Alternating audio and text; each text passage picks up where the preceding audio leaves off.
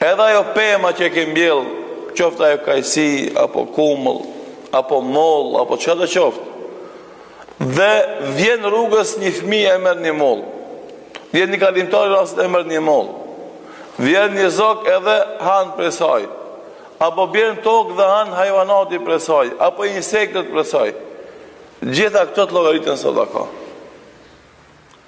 E tash ta marrim këtë hadith edhe ta krahasojmë me gjendjen e popullit tonë konkretisht në vendin tonë, këtu në Shkup dhe rrethinë, apo pak ma gjerë në mesin e popullit ton.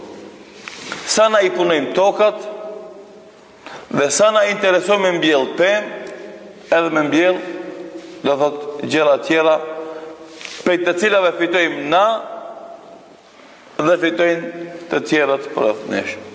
Shkon tani fushave edhe kodrave, edhe i gjen ledina. S'ka as pemë, as perime, as zarzavate, asgjo. Pse përtojnë edhe janë dembelav edhe kanë lanë pas dore. Përpara, kur punohej toka, vinte bereqeti prej çkafit, e para prej mundit. Mundit lodhjes për ta fitu me hallall. E dyta, se ajo punë e tokës, fitojke prej saj edhe kafsht, edhe shpezt, edhe insektet, edhe normalisht kjo ta sjell përsëri bereqetin. Edhe gëzoheshin gjithë në momentin kur bëhej korrja e bereqeteve, apo vjelja e fryteve. Gëzoheshin gjithë, edhe njerëzit, edhe fëmijtë, edhe mysafirët, e mos flasim për kafshët e shpezët e insektet e kështu me radhë. Do thotë na vetë bëhemi sebeb me humbë bereqetin, dhe vetë bëhemi sebeb me u vështirësu jeta jonë, s'na ka faj askush. S'na ka faj askush.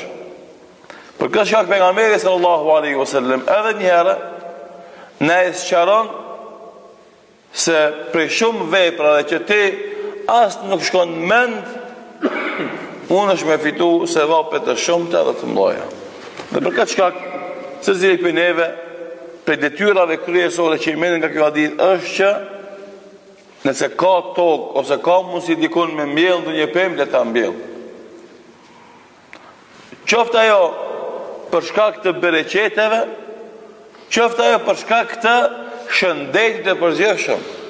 Sidomos, sidomos me ndërtimet e shumta të objekteve dhe mungesën e hapësirave të gjelbërta, mbetet detyrë secilit që ta mbjellë një pemë apo një dru apo një gjelbrim që t'ia ndihmon, domethënë, botës në përgjithësi n'zhvillimin e jetës.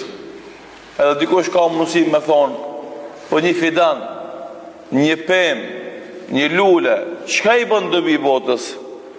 I themi atë që ka thonë pejgamberi sallallahu alejhi ve selem.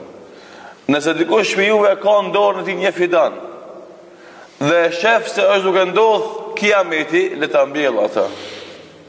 Le ta mbjellë atë. Nuk është mundësi ti se i mbjell një mijë fidane, edhe pse, ka mundësi na si xhemat për shembull, xhemati i sabahut, xhemati i xhamisë, me bo projekt, n'pranverë, apo në vjeshtë, Me i marrë për shembull 100 fidane, 1000 fidane, 10000 fidane, e me shku për shembull në fusha, në male, në kodër ku e kanë shprazë njerëzit tuj i pre drunjtë apo pemë, me e mbjellë me pemë.